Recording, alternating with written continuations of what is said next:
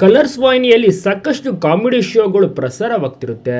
ಆದರೆ ಎಲ್ಲದರಲ್ಲೂ ಕೂಡ ನೀವು ಈ ಒಂದು ಲೇಡಿ ಗೆಟಪ್ ಹಾಕುವಂಥ ವ್ಯಕ್ತಿಯನ್ನು ಗಮನಿಸೇ ಇರ್ತೀರಾ? ತುಂಬಾ ಪ್ರಖ್ಯಾತಿಯನ್ನು ಪಡೆದುಕೊಂಡಂಥವರು. ಮಜಾ ಭಾರತದ ಮೂಲಕ ತುಂಬಾ ಫೇಮಸ್ ಆದಂಥವರು ಈ ರಾಘವೇಂದ್ರ ಅವರು. ರಾಘವೇಂದ್ರ ಅವರು ಕಾಮಿಡಿ ಕಾರ್ಯಕ್ರಮ ಮಜಾ ಭಾರತದಲ್ಲಿ ಸೆಲೆಕ್ಟ್ ಆದ ಬಳಿಕ ಮೊದಲ ವಾರ ಹುಡುಗಿ ಪಾತ್ರ ನೀಡಿದ್ದು, ನಂತರ ಅದನ್ನೇ ಮುಂದುವರಿಸಿಕೊಂಡು ಬಂದರು. ಈಗ ಹುಡುಗಿ ಪಾತ್ರದಲ್ಲಿ ಬಣ್ಣ ಹಚ್ಚುವ ಮೂಲಕ ರಾಣಿ ಆಗ್ಬಿಟ್ರು. ಯಾವುದೇ ಊರಿಗೆ ಹೋದ್ರೂ ಕೂಡ ಅಲ್ಲಿ ಅವರನ್ನ ರಾಘವೇಂದ್ರ ಅಂದ್ರೆ ಒಪ್ಕೊಳ್ಳೋದಿಲ್ಲ. ರಾಣಿ ಅಂತಾನೆ ಗೊತ್ತಿಡಿಯೋದು. ರಾಘವೇಂದ್ರ ಅವರ ಆತ್ಮವಿಶ್ವಾಸ ಮತ್ತಷ್ಟು ಹೆಚ್ಚಾಗಿದ್ದು ಫ್ಯಾಮಿಲಿ ಸಪೋರ್ಟ್ ಮಾಡಿದ ಬಳಿಕ. ರಾಘವೇಂದ್ರ ಅವರು ಉಮಾಶ್ರೀ ಅವರ ಅಭಿಮಾನಿಯಾಗಿದ್ದು ಅವರ ಚಿತ್ರವನ್ನು ತಪ್ಪದೆ ನೋಡುತ್ತಾರೆ. ಸಾಕಷ್ಟು ಅವಾರ್ಡ್ ಫಂಕ್ಷನ್ ಕಾರ್ಯಕ್ರಮದಲ್ಲೂ ಕೂಡ ರಾಘವೇಂದ್ರ ಅವರು ರಾಣಿಯ ಪಾತ್ರದಲ್ಲಿ ಬಂದು ಎಲ್ಲರಿಗೂ ಕೂಡ ಮನೋರಂಜನೆ ನೀಡ್ತಾರೆ. ಯಾವುದೇ ಪಾತ್ರ ಕೊಟ್ಟರೂ ಕೂಡ ಸೈ ಎನ್ನುತ್ತಾರೆ, ಅಚ್ಚುಕಟ್ಟಾಗಿ ಮಾಡುತ್ತಾರೆ. ಇಲ್ಲಿಯವರೆಗೂ ಹೆಚ್ಚು ಜನಪ್ರಿಯತೆಯನ್ನು ಪಡೆದುಕೊಂಡಿದ್ದಾರೆ.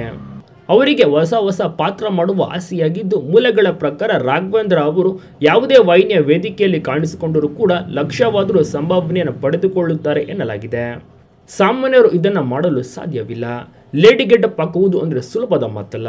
ಹುಡುಗಿಯ ರೀತಿ ಬಿಹೇವಿಯರ್ ಇರಬೇಕು ಮಾತನಾಡುವಂಥ ಶೈಲಿ ಎಕ್ಸ್ಪ್ರೆಷನ್ ನಡತೆ, ಘನತೆ, ಗಾಂಭೀರ್ಯ ಎಲ್ಲವೂ ಕೂಡ ಸೇಮ್ ಟು ಸೇಮ್ ಹುಡುಗಿಯ ರೀತಿಯೇ ಇರಬೇಕು. ಅವೆಲ್ಲವನ್ನು ಕೂಡ ಅಚ್ಚುಕಟ್ಟಾಗಿ ನಿಭಾಯಿಸುತ್ತಾರೆ ರಾಘವೇಂದ್ರ ಅವರು. ನಿಮಗೂ ರಾಘವೇಂದ್ರ ಅಲಿಯಾಸ್ ರಾಣಿ ಪಾತ್ರ ಇಷ್ಟನಾ? ನಿಮ್ಮ ಅನಿಸಿಕೆನ ತಪ್ಪದ ಕಮೆಂಟ್ ಮೂಲಕ ತಿಳಿಸಿ. ವಿಡಿಯೋಗೊಂದು ತಪ್ಪದೆ ಲೈಕ್ ಕೊಟ್ಟರೆ ನಮ್ಮ ಚಾನಲ್ನ ಈಗ ಸಬ್ಸ್ಕ್ರೈಬ್ ಮಾಡ್ಕೊಳ್ಳಿ.